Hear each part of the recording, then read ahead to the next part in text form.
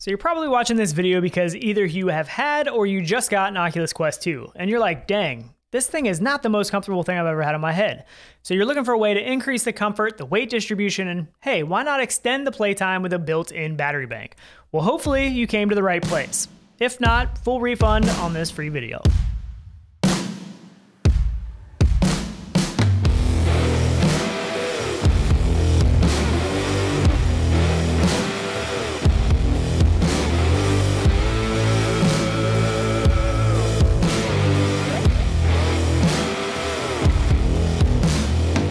All jokes aside, the Quest 2 does so many things well, but out of the box comfort, it leaves a little bit to be desired.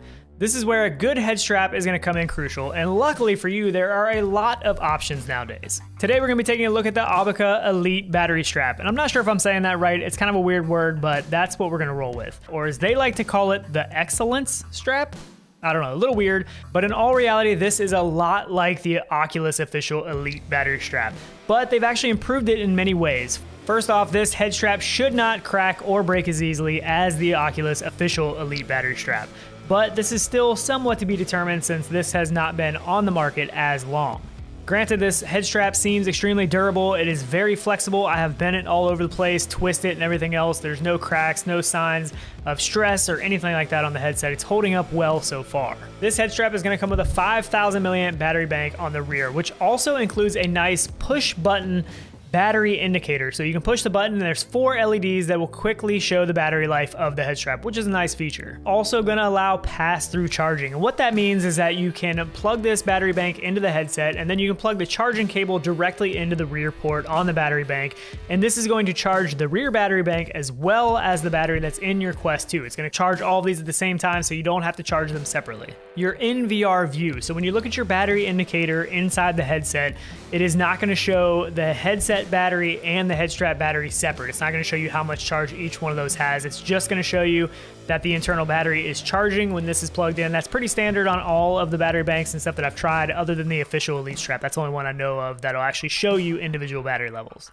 Also, just a note here, you cannot use wired link to play PCVR while plugged into the battery bank. What you're gonna have to do is unplug the battery bank and plug your wired link cable directly into the headset. This is the case though with all battery straps or extended battery banks. This is how they all work.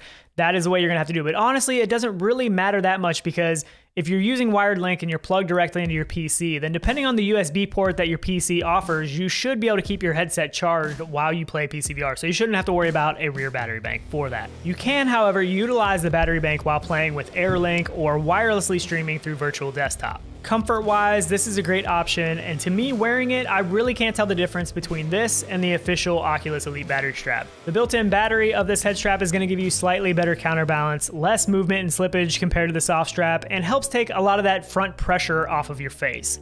I have to say my current favorite head strap is still the Bobo VR M2 Pro, but that halo design isn't for everyone. Some people actually prefer this more traditional kind of ski mask style setup for their VR headset. VR cover actually makes rear padding for the official Elite battery strap that makes that's made from Oculus, and this actually fits the head strap no problem. It gives you a bunch of extra padding on the rear, which is really nice, a nice feature. I really enjoy this, so I do recommend picking that up, and it fits this head strap just like it would the official Elite strap.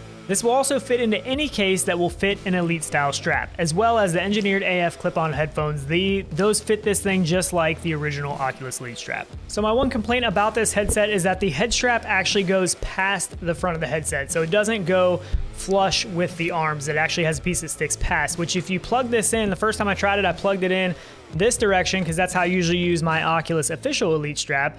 And when I was trying to loosen it, the cord actually got caught up in front of this like that and I couldn't get it all the way loose. I was like, what the heck is going on? So what I quickly realized is that you just can't plug it in that way and you have to plug it in uh, like this essentially, which gives you a little bit more extra cord, but by the time you loosen it up, uh, it all works out. They make two versions of this, a regular one and the one like you see here with the 5000 milliamp battery, which gets you roughly five hours of extra playtime.